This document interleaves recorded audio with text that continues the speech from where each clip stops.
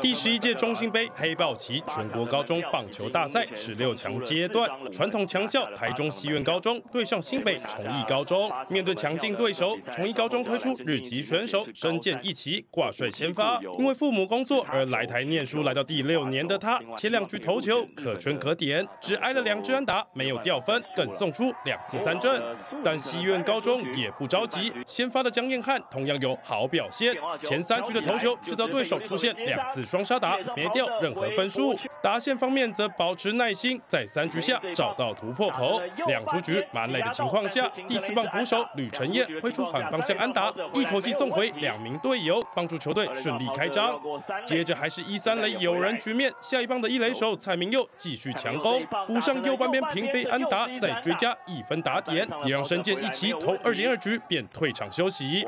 总计这个半区，西文高中敲出五支安打，换回四分，搭配先发投手江彦翰四点二局零失分好投及两名牛棚合力守城，中场他们便以四比零击败崇义高中晋级八强。接着看到台北的大理高中对决台南海事，比赛战况是相对焦灼。台南海事在二局下率先展开攻势，靠着保送跟触及推进站上得点圈。第六棒二垒手林恩奇把握机会抓第一球打，形成中右外野的落地安打。帮助球队先持得点，一比零领先。但四局上大力高中的反扑很快就来，无人出局满垒，同样是第六棒二垒手的周祥立击出中足外野相当扎实的深远飞球，形成带有两分打点的二垒安打。大力高中二比一反超比数。然而四局下台南海事靠着两支安打轰占二三垒，一垒手蔡东峰补上中外野高飞牺牲打，双方又回到二比二平手僵局。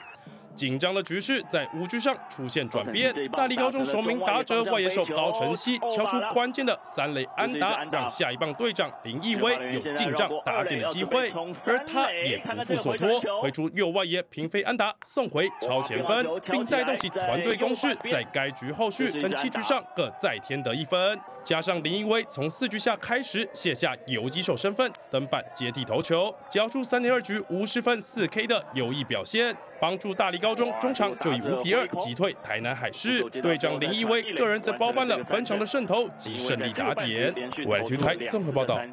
线上购物独特一点，找好东西就上 CT Social。